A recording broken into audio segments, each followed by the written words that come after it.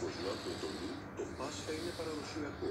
Η περίπατη στην αλυσιάτικη φύση πλάι στη Λίμνη Τριχονίδα, η διαμονή σας με άνεση στα καλόγουστα δωμάτια του Πετρόχτης του ξενοδοχείου Θέρδιος Απόλλων και τα υπέροχα πασχαλινά εδέσματα που θα σας προσφερθούν με αυθονία στο εστιατόριο του ξενοδοχείου θα κάνουν